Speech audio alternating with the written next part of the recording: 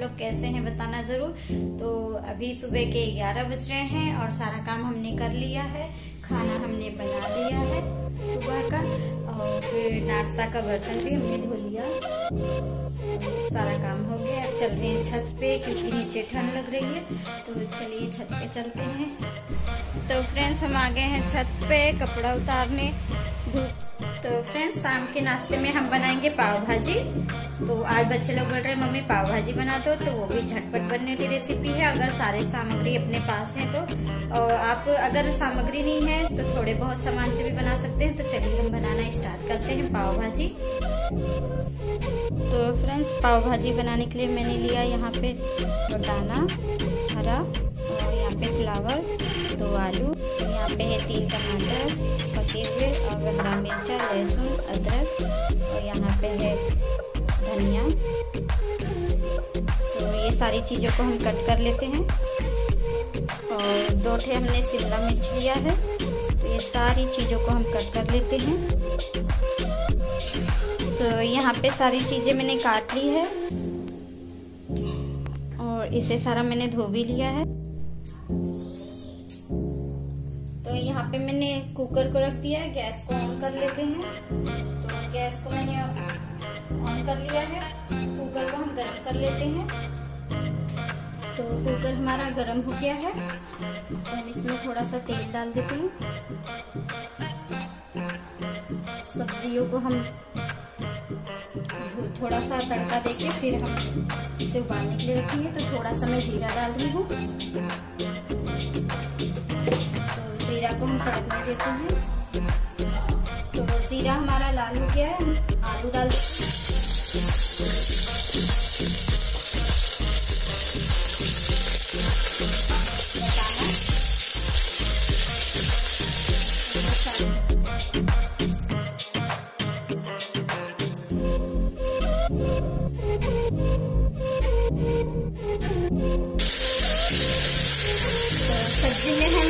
आधा गिलास के लगभग पानी डाल देते हैं और फिर इसे हम ढक्कन लगा देते हैं।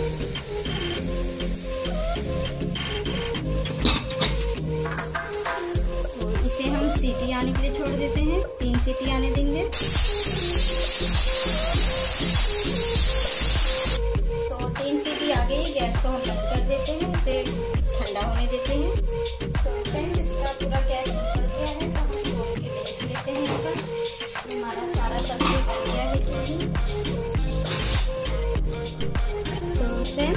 सब्ज़ी हो चुकी है तो हम एक मैशर की हेल्प से इसे मैश कर लेते हैं। तो इसी तरीके से हमें मैश कर लेना है सारा। सारा मैश कर लेते हैं।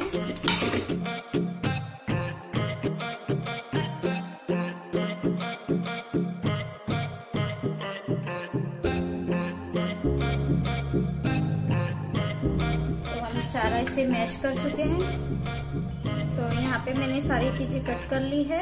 शिमला मिर्च, टमाटर, प्याज और कद्दूकस किया हुआ अदरक और कद्दूकस किया हुआ लहसुन।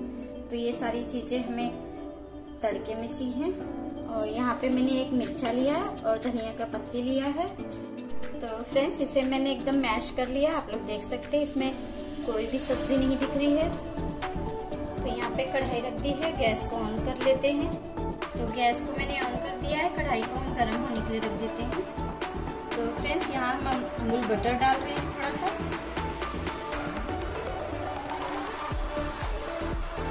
तो थोड़ा सा हमने अमूल बटर डाला, फिर तेल डाला है, फिर हम लहसुन डाल देते हैं और अदरक। ये सारी चीज़ों को हम लाल कर लेते हैं अच्छे से। तो यहाँ पे मैंने एक हरा मिर्चा लिया है, वो भी हम डाल देते हैं। और फिर हम प्याज डाल देते हैं।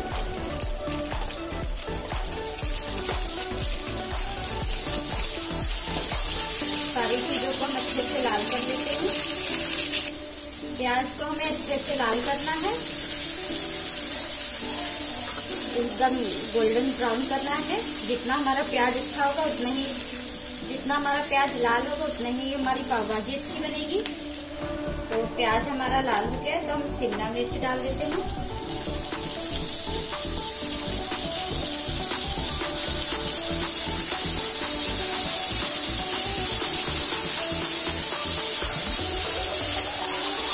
तो इसे भी हम थोड़ा सा पका लेते हैं। तो मैं शिमला मिर्च को हमने थोड़ा सा पका के फिर हमने टमाटर डाल देते हैं।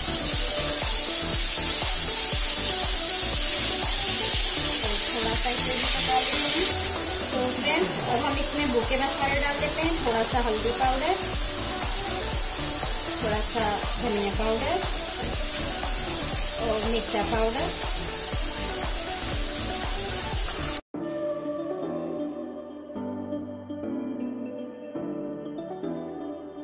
तो नमक डाल देते हैं तो हमने सब्ज़ी में नमक नहीं डाला था, इसीलिए हम इसी में डाल रहे हैं।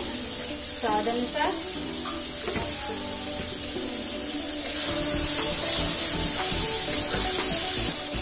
टमाटर को शिमला मिर्च को मैं अच्छे से पका लेना है।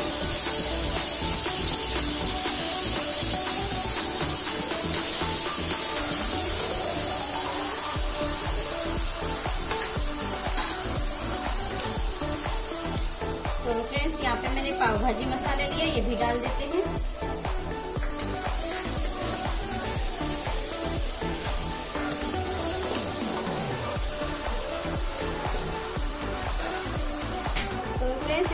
थोड़ा सा हम पानी डाल देते हैं। ताकि हमारा मसाला अच्छे से पक जाए।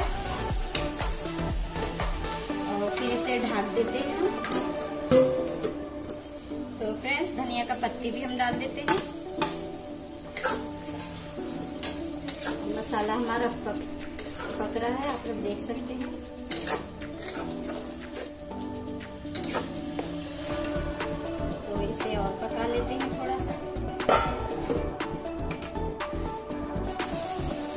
मसाला हमारा पक चुका है।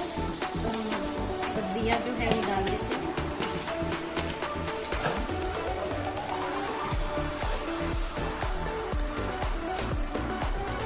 थोड़ा सा पका लेते हैं।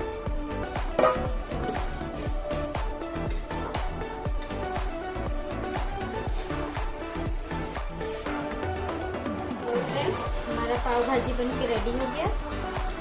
अब हम गैस को बंद कर देते हैं, फिर हम पाव को तलेंगे। तो फ्रेंड्स यहाँ पे मैंने अमूल बटर लिया है। तो ये थोड़ा सा हम तावे पे डालेंगे और फिर पाव को तलेंगे। तो थोड़ा सा इस पे हम मसाले को डालेंगे अपने।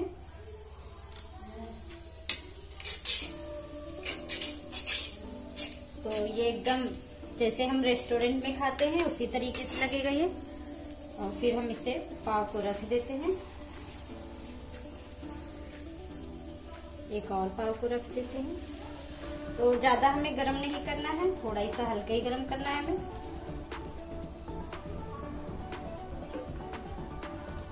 हमारा पाव भाजी लगेगा तो आप लोग भी ट्राई करना ऐसे ही।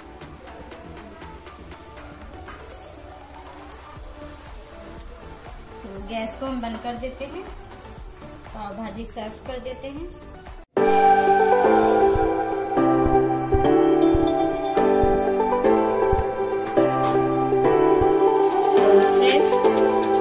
तो फ्रेंड्स, हमारी पाव भाजी बन के रेडी हो गई है। तो आइए आप लोग भी खा लीजिए। और कैसा बना है? बहुत टेस्टी दिख रहा है बन, खाने में। लग रहा है ये। आप लोग देख सकते हैं। तो मैंने इस पे अमूल बटर डाल दिया है। और ब्रेड को भी, पाव को भी मैंने गर्म कर दिया है। तो आप लोग भी ट्राई करना। ठंड में खाने में बहुत अच्छा लगता है।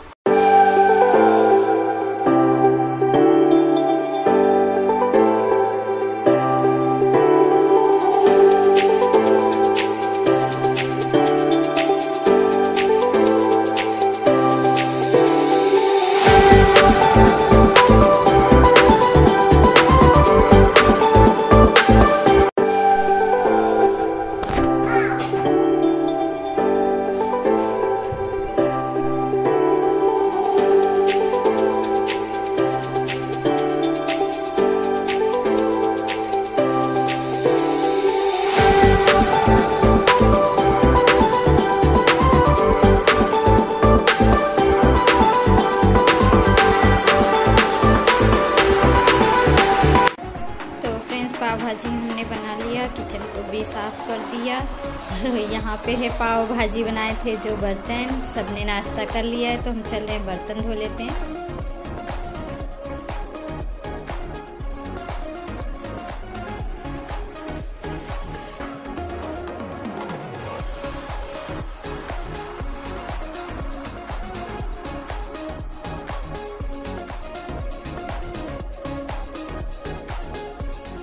तो फ्रेंड्स यहाँ का मैंने चादर चेंज कर दिया है। तो यहाँ पे कम्बल मैंने बिछाया, जो पतला वाला आता है, वो गर्म रखता है। तो यहाँ पे भी मैंने वही बिछा दिया है। क्योंकि यहाँ बच्चे सोते हैं तो बहुत ठंड लगती है वो लोग को। तो फ्रेंड्स यहाँ पे मैंने साफ़ सफ़ाई कर दिया है, सारा चद्दर बिछा दिया है।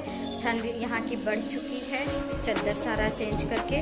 और जो पतला वाला कंबल आता है डबल बेड का, वो वाला मैंने दोनों बेड पे लगा दिया